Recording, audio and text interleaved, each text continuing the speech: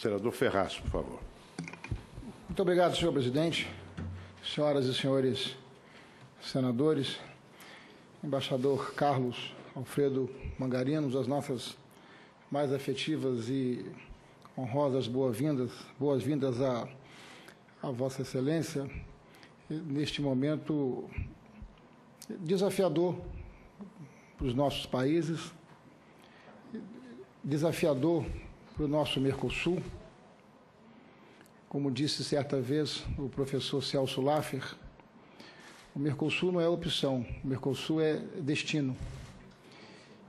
E as responsabilidades da Argentina e do Brasil em fazerem o Mercosul avançar, se desenvolver, ajustando e aperfeiçoando todos os seus mecanismos, para que possamos olhar para além das nossas fronteiras, além das nossas regiões, abraçarmos o mundo e encararmos os desafios globais que estão colocados e trabalharmos de forma unida um novo posicionamento para os nossos países mundo afora.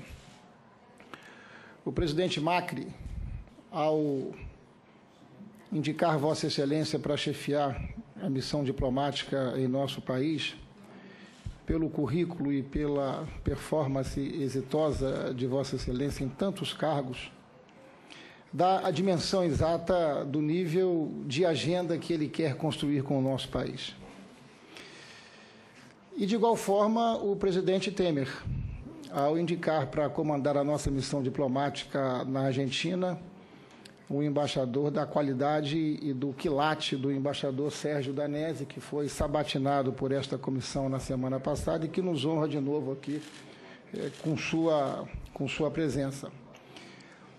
Eu não pretendo aqui tratar de nenhum tema pontual, até porque estamos instalando o nosso fórum permanente, que terá a oportunidade de se organizar com as nossas tarefas de curto, médio e longo prazo mas esta é uma oportunidade para os nossos dois países, uma oportunidade para uma interação e uma sinergia entre o Congresso Brasileiro, o Senado da República, a Câmara Federal, na direção da construção dessas agendas, entendendo as características é, de cada um dos nossos países, o momento e o tempo que vive os nossos países, enfim, os desafios dos nossos arranjos econômicos eu queria chamar a atenção é, de Vossa Excelência é, para um tema que me parece da maior relevância, porque o Mercosul é o, é o nosso ambiente é, de trabalho e de desafios.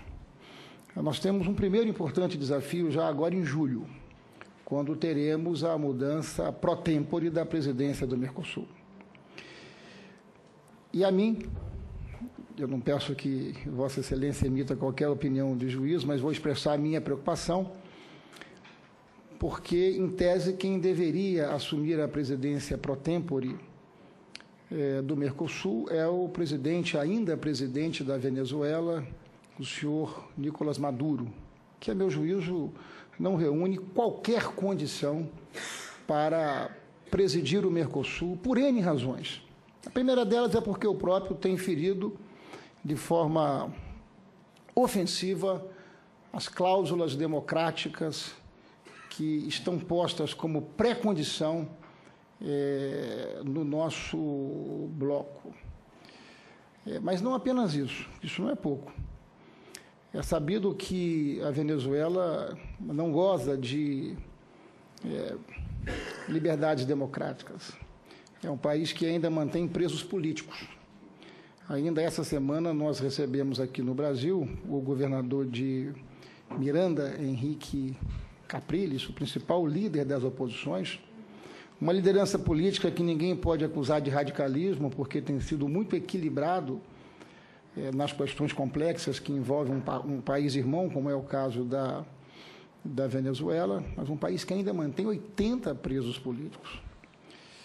E, portanto, essa é uma preocupação que eu quero chamar a atenção de Vossa Excelência. O presidente Temer dá nova orientação à política externa brasileira, assim como o presidente Macri dá nova orientação política externa à Argentina. E esse momento é um momento de extrema convergência para os nossos países, que desafiaram a gravidade ao longo dos últimos anos e, por isso mesmo, estiveram mergulhados em, em, uma, complexa, em uma complexa realidade. O, o, governador de Miranda, Henrique Capriles, foi recebido por Sua Excelência, o presidente Macri, e foi recebido aqui no Brasil é, por Sua Excelência o chanceler José Serra. Até bem pouco tempo atrás, nenhuma das autoridades que compõem o bloco das oposições na Venezuela sequer era considerado e recebido pelas autoridades brasileiras. Agora foi recebido pelo chanceler do Brasil, foi recebido pelo presidente Macri, o que revela sinceramente e objetivamente uma mudança de ambiente em, nossa, em nosso bloco e em nossa região. Portanto, eu quero chamar a atenção de Vossa Excelência para esse fato e chamar a atenção das autoridades que têm a responsabilidade de conduzir a política externa brasileira. Não há a menor condição. Eu não sei que solução os senhores vão encontrar, mas eu tenho muita confiança e expectativa que encontrem uma solução. Porque imaginar o presidente, ainda presidente da Venezuela, presidindo o Mercosul, eu acho que é uma desmoralização. Eu acho que isso não vai fortalecer o Mercosul, nesse momento em que nós estamos trocando ofertas com a União Europeia, nesse momento em que a própria União Europeia passa também por um desafio enorme, se mantém ou se não mantém, se a Inglaterra fica ou não fica é, na União, é uma decisão que o povo estará tomando nos próximos dias, a partir de um plebiscito, enfim, temos muitos desafios. Mas eu acho que o primeiro desafio é encontrar uma solução para que o Mercosul não possa ser presidido por alguém que não reúne menor, a menor condição é, de nos presidir por conta de não respeitar as cláusulas democráticas, para não falar é, outras coisas. Então, essa é a, a manifestação que faço a, a, Vossa Excelência, da nossa alegria, da nossa satisfação, é, do profundo respeito que o presidente Macri mostra para o nosso, para o nosso país quando indica um embaixador das qualidades técnicas e profissionais é, de Vossa Excelência, não apenas no campo, no campo acadêmico, mas no campo prático das questões que devem estar no seio das nossas relações. Sejam muito bem-vindas e o nosso fórum ele se instala com essa expectativa e com essa confiança. Muito obrigado, senhor presidente.